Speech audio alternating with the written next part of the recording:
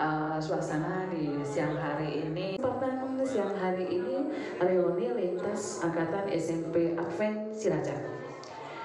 Mari ingat, wes ini mesti banyak filosofinya ini untuk kalimat itu. Jadi betul-betul memang uh, untuk keberkahannya. Saking bunganya, kita berterima kasih sekali. Kita tidak tahu loh, saat kita masih sekolah, saat kita masih sekolah kita tidak tahu akan ke depan, tetapi alhamdulillah sekali bersyukur ya uh, kalau ini menyampaikan puji Tuhan ya gitu ya. Karena apa? Di saat zaman mau Oh lima, oh.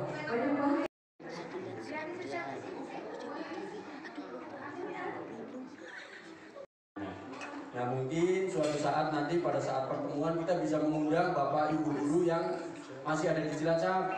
Ini, kalau yang jauh ya mungkin nanti setiap uh, berapa bulan sekali, enam bulan sekali atau tiga bulan sekali mungkin bisa undang mau mau yang jauh.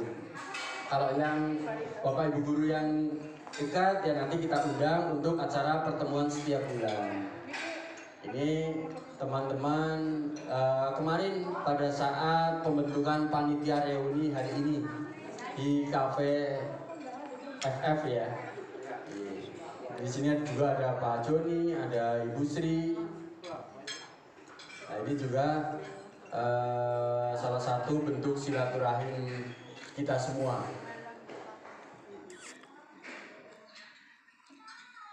Ini waktu ada Bapak Yudiono, kemudian dengan teman-teman angkatan 8. Kalau yang Bapak Ibu guru yang dekat ya nanti kita undang untuk acara pertemuan setiap bulan. Ini teman-teman uh, kemarin pada saat pembentukan panitia reuni hari ini di cafe FF ya. Nah mungkin suatu saat nanti pada saat pertemuan kita bisa mengundang bapak ibu guru yang masih ada di Cilacap. Ini, kalau yang jauh ya mungkin nanti setiap uh, berapa bulan sekali, enam bulan sekali atau tiga bulan sekali mungkin bisa undang mau mau yang jauh. Kalau yang bapak ibu guru yang dekat ya nanti kita undang untuk acara mengajarkan puji syukur dari pimpinan teman-teman. Advent pertama. Luar biasa. tahun 75 tahun 75 muridnya 10 orang. Eh, puji Tuhan. Nggak tahu ya. Ya maaf ya saya kalau, saya mengambil kata adik-adik ya. Adik-adik waktu itu masih di, di bawah jauh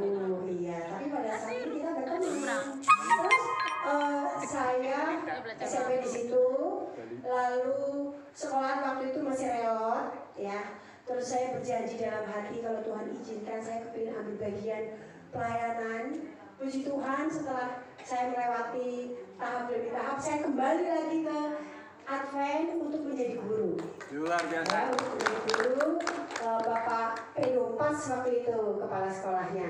Lalu saya ketemu Pak Yudiono, ketemu Pak Haumahu, Pak Haumahu balik lagi ke Cilacap sampai dua kali. Jadi eh, terus saya udah pensiun. Saya pensiun bukan karena usia saya 65 tahun, tidak. Saya belum ada usia, jadi di organisasi kami pensiun itu kalau sudah usia 65 ya Pak Mahu ya Pak Mahu begitu usia 65 ya sudah pensiun. Tapi saya belum umur 65 sudah suruh pensiun juga.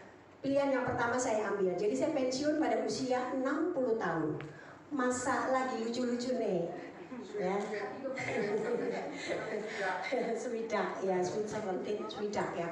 Juga pilihan yang pertama saya ambil. Jadi Terima kasih kepada Tuhan Yang Maha Esa. Kita diberikan waktu dan tempat untuk ketemu ya walaupun tidak dari angkatan tahun 88. Terima kasih kepada Bapak Ibu guru yang telah meluangkan waktunya untuk bisa berkumpul bersama kami di sini angkatan 87 8